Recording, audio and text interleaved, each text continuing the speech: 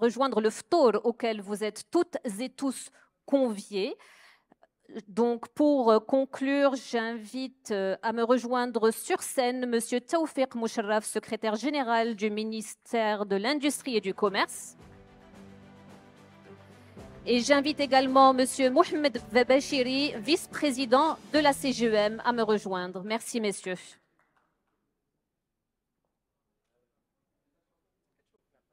Je vous en prie, messieurs, prenez place et euh,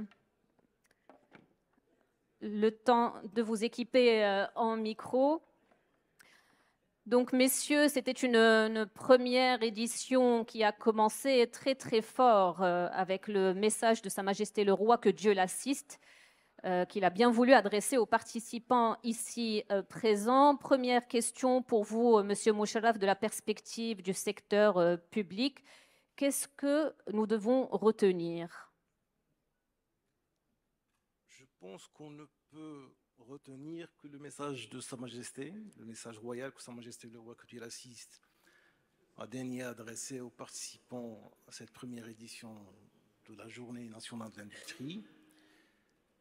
Un message royal où Sa Majesté a souligné la nécessité d'entrer pleinement dans une nouvelle ère industrielle, nouvelle ère industrielle portée par et vers la souveraineté. Et Sa Majesté le Roi a défini les enjeux que l'industrie marocaine doit relever, des enjeux qui sont induits par, comme ça a été souligné, par un contexte mondial empreint de beaucoup de mutations, beaucoup d'évolutions et essentiellement beaucoup d'opportunités, et un message qui a également défini les priorités, priorités de cette nouvelle ère industrielle.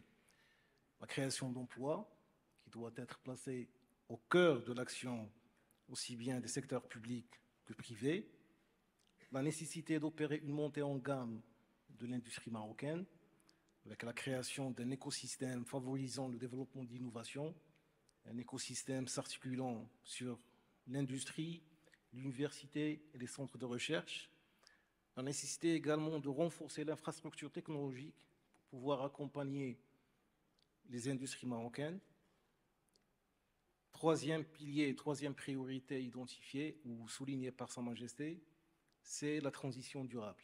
La transition durable, la réduction de l'empreinte carbone du secteur industriel, la nécessité de rationaliser l'utilisation des ressources.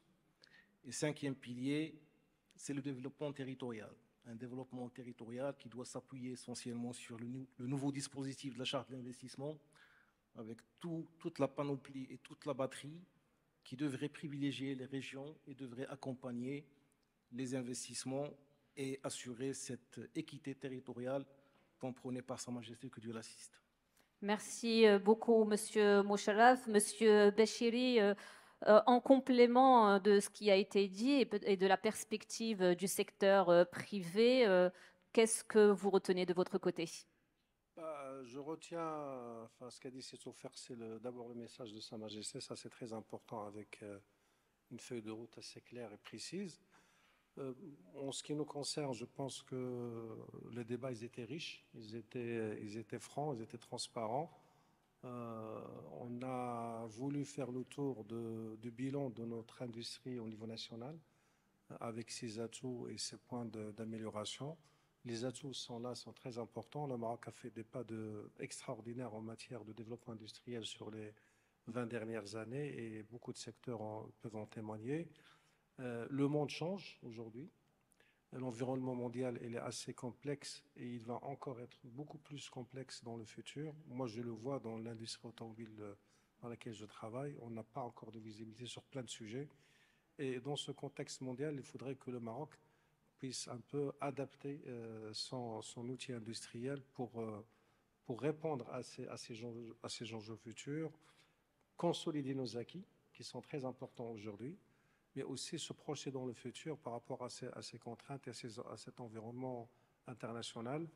Nous sommes, à mon avis, euh, dans un momentum assez unique où les astres sont alignés pour qu'on puisse aller de l'avant et renforcer notre, notre, notre industrie euh, nationale sur plein de sujets, que ce soit sur euh, la souveraineté sanitaire, la souveraineté alimentaire, la souveraineté énergétique, sur la partie logistique, sur l'innovation, sur la fiscalité, sur la commande publique, sur les zones industrielles, sur le foncier, sur plein de sujets. Donc, les débats étaient riches.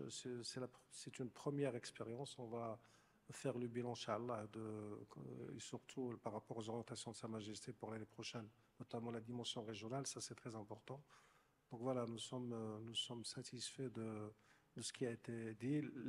Aussi le panel entre les différents participants, la complémentarité entre le secteur public et privé, ça c'est fondamental. Et je tiens à remercier tous les membres du gouvernement qui nous ont honorés, l'écoute qu'on a auprès du gouvernement par rapport à, nos attentes en tant que secteur privé. Donc voilà, il y a une belle équipe Maroc SA qui, est là et, je pense avec tout ce qu'on a comme atout, il n'y a aucune raison pour qu'on ne puisse pas encore aller encore plus loin.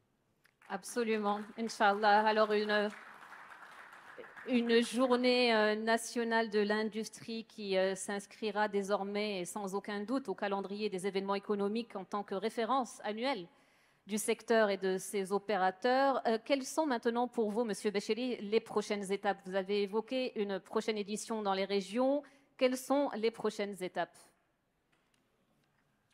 Les prochaines étapes, c'est euh, d'abord, il y a eu beaucoup de chantiers qui ont été lancés en 2022. On a la convention R&D Innovation de 300 millions de dirhams. Il y a la, refonte de, de textes, de décrets des conditions d'accès à la commande publique qui a été publiée au mois de mars. On a la refonte de modèles des zones industrielles, la refonte enfin la, réduction des délais de paiement. Donc ça, c'est des acquis aujourd'hui sur lesquels la CGM a beaucoup travaillé avec ses différentes composantes pour qu'on puisse, avec le gouvernement, sortir avec des choses concrètes pour l'intérêt de nos entreprises. Maintenant, sur euh, ce, qui, nous reste, on a, parlé des facteurs de compétitivité, donc on a la, réduction des coûts de production, on a vu aussi, il y a un sujet sur les réserves foncières, donc c'est un sujet très important pour l'économie et pour l'industrie. Il y a un travail de fond qui, reste encore à faire malgré tout ce qu'on a fait par rapport à ce sujet. On a le sujet de la réforme de la stratégie nationale de la compétitivité logistique, qui, je le rappelle, reste à, peu près à 20% de taux de réalisation euh, il y a 10 ans après son lancement. Donc il faut l'adapter surtout aux enjeux futurs euh, qui nous attendent en termes de, de, de chaîne de valeur mondiale. On a aussi les efforts en vue d'atteindre les objectifs fixés par la loi cadre de la fiscalité à l'horizon 2026. L'autre défi, c'est la décarbonation, avec tous les enjeux qui sont autour de ce, sujet, notamment le Green Deal euh, au niveau de Port de l'Europe qui, sera appliqué bientôt, notamment avec l'efficacité énergétique et l'innovation dans la décarbonation. Il y a aussi un marché de trading carbone local qui, doit être lancé et, et, sur lequel on doit travailler, et une offre d'assistance technique plus large. Et il y a deux autres points, trois, trois points, c'est le capital humain, on en a parlé tout à l'heure, mais pas uniquement capital humain, euh, on le fera, la, version prochaine, le volet social. Le volet social et les législations de travail sont très très importants, on n'en a pas parlé aujourd'hui pour, euh, pour des contraintes de temps.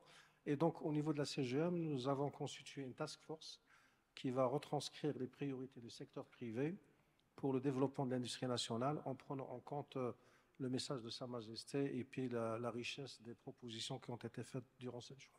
Merci beaucoup, euh, merci beaucoup, Monsieur Bachiri. Monsieur Taufir Mouchalaf, même question euh, pour vous de la perspective du secteur public. Quelles sont les prochaines étapes? Bah, les prochaines étapes, c'est la nouvelle feuille de route industrielle, c'est-à-dire la nouvelle stratégie industrielle. Nous avons la chance d'avoir euh, euh, des orientations royales. Ce sont ces orientations qui guideront l'élaboration de la nouvelle stratégie industrielle, donc qui sera lancée dans les prochains jours qui, qui viennent.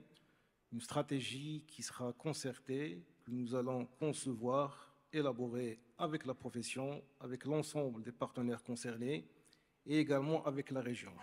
Sa Majesté a consacré une part importante dans son message royal à la dimension territoriale. Il faut valoriser le plein potentiel de nos régions, il faut localiser de la valeur au plus près du citoyen marocain, donc il est inconcevable que les stratégies sectorielles ne puissent pas avoir une déclinaison territoriale. Donc c'est le chantier principal que nous allons engager dans les prochains jours. Et bien sûr, l'élaboration prendra en considération les priorités qui ont été définies par Sa Majesté que Dieu l'assiste et qui consisteront les bases de cette nouvelle stratégie industrielle, mais elle prendra également en compte l'ensemble des recommandations, l'ensemble des outputs qui, euh, qui sont l'émanation des différents panels organisés tout au long de cette journée.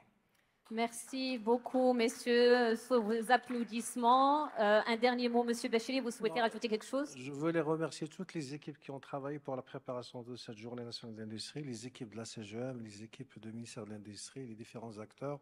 C'est beaucoup de travail de, dans l'ombre, qui n'a pas, et les présidents de fédérations industrielles aussi, les commissions qui ont travaillé, de différents acteurs. Donc, beaucoup de travail qui a été fait avec euh, le ministère de tutelle. Et donc, voilà, merci pour tout et puis à l'année prochaine, Charles.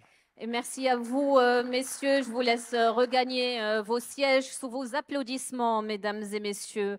Nous retiendrons en effet euh, le moment fort euh, du message royal, les enjeux et les priorités qui ont été cités et qui seront les orientations qui vont guider la feuille de route industrielle. Voilà, mesdames et messieurs, nous arrivons au terme de cet événement. Merci pour votre présence parmi nous. Merci, euh, cher Wadier, de nous avoir accompagnés. Merci à l'ensemble des équipes techniques. Je vous donne le dernier mot à monsieur Moucharaf et nous vous retrouvons dans quelques instants pour le.